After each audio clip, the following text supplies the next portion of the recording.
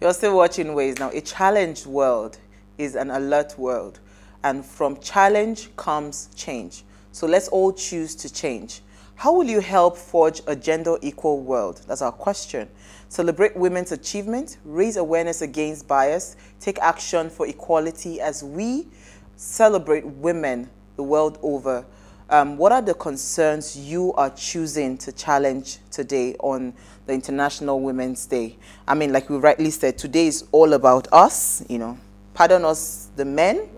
Like we don't do this so often. We try to keep a balanced conversation, but I mean, if they say we have 50% representation on in terms of population, right? I mean, I think it's perhaps it's over fair, 50%. Right? No, someone said to me today that we have Women's Day, we have Mother's, Mother's Day. Day. He said, soon we're Wife's going to take Day. over the whole year. and I said, if we did, it still wouldn't be enough. yeah. Have you been through nine months of pregnancy? Ten actually. Oh, come on, weeks. don't play that card. Come no, ah. Uh, do, do, ah. Don't, don't, play that Sanzi, card. My life changed. I, I have never, I have never been pregnant. But Spoke, I don't I was just going to say, spoken like somebody no, wait, Hold on, hold on. I have never been pregnant. And I know it's, well, I hear it is a lot of work, but please don't play that card. It is hard let me tell you to something. be a man as well. Let me I'm not a man, but I know something. it's hard. Let me explain something. Men yeah. appreciate you more when they watch you go through what a woman goes through in a delivery room. So even they themselves, they know, they can't deny it. That I'm it's not, a lot of, it takes a lot of strength. I'm not so saying that. It's not even a he versus she thing. Mm -hmm. They're both realities. It's not easy to be a man, but it's way harder to be a woman. That's all no, I'm saying. it's not like that. Yeah. Right, so um, um, back to what you chose to challenge. Why did you choose to challenge, you know, um, growth? Growth, yeah.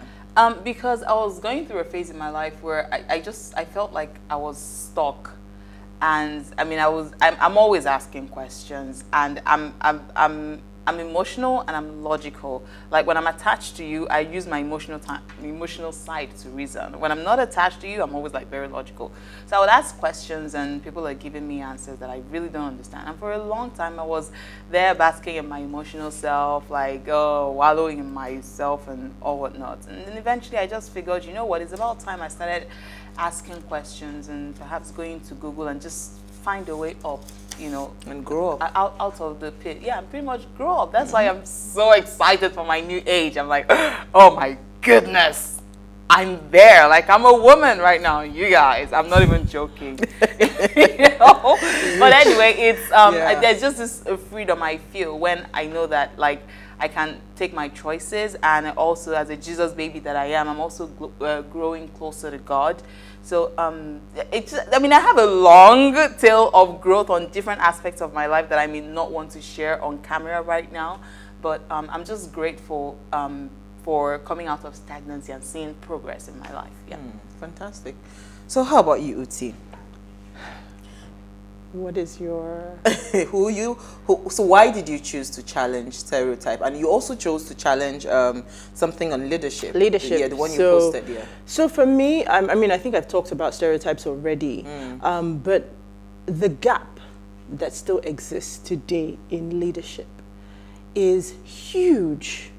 Absolutely, absolutely huge. You know, the numbers that we see, if you look everywhere, Fortune 500 companies, you know, the gap is just huge. So it, it means that when, you know, women make it to the top, hmm. they stand out. You know they're there. But in reality, if we got this right, it would be the norm.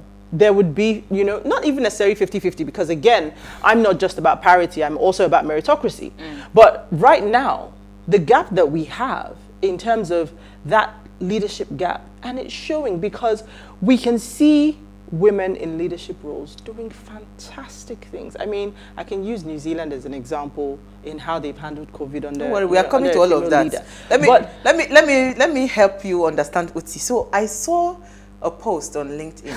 Mm -hmm. I mean, for the first time, I felt so proud that I am honored to know this woman. You know, um, Uti just changed jobs oh and she's moved gosh. to a different company. So one of her staff, her subordinate, wrote something, and I thought it. I thought for a minute, it was so profound. You know, and this is just Uti. Yeah. Now imagine how many Utis there are, how many Sansis, Yeah. how many Uwa they have. We have all over the world. You know, he says the phrase 99 is not 100 is one I will never forget in a very long time, right? He says, Uti Gabriela Ellu, I wish you success as you navigate new tides. So he now broke down how Uti was explaining. He said, at first when he said, when she said 99% is not 100, you know, he thought she was, who is this person that is coming for a perfectionist? The person is trying to look for this thing, a perfect, you know. You know, but no, what her message was to him over the years as he worked with her as his, um, her subordinate, he learned that there will always be room, you know, for improvement mm-hmm. Right. right? So Right. if you keep on telling yourself that, yes, I might be excellent at this, but there's that 1% room for improvement. Absolutely. Tell me how this world will not be a better place. Yep. So I thought that was very, very brilliant, you know. And that's why she's for big on- somebody else to write that about you, I yeah. mean, I mean, am- and that's I why she's like really big on meritocracy. Like Yes. you see it working out It in her life. Like It's- today has to be better. So tell us Like more tomorrow has to be better that. than today. So it, you know, it's funny how um, I- you know I always 99 is not 100. It was it was a funny thing where again in my previous team um, they used to have targets, and you would find people who the target was 100 and they'll do 96, 95, and I'm like, you know, it would be easier for me to accept if you did 80 or 70, but for you to get to the just there and then not push yourself just to give that little. And they'll say, but my shift was over. I'm like, how long would it take you to do the rest? Hmm. So it was that consistent growth. And I also had a boss that taught me the same thing. I remember one of my very first appraisals early on in my career. She rated me and I went, no, I've done this, she's done that. And she says, well, I don't disagree with you. But if I rate you this way, the way you want me to rate you, how will you know that there's room for growth? So I've also had leaders that have invested in me, hmm. in developing me. So for me, it's so important to develop the next generation. Right. You must, you know, I, I, it was, it was so emotional on Friday because I told my team, I said, look, the things that you have said about me today, I, I only expect to hear them uh, when people die. And the reality of it was, this was in an organization where a lot of the time I didn't actually feel liked. Hmm. You know, I thought people were going to be throwing parties in the streets when I said I was leaving. But to, to hear for me, you know, people say nice things, but the, the thing that touched me the most was everybody saying, see, you saw me the way I didn't see myself. And because of that, you pushed me to be better. And that is my objective because that's exactly what the leaders that I have learned from, that's what they did for me. They saw me and they would talk to me about me, and I'd be like, hmm. Are you talking about me?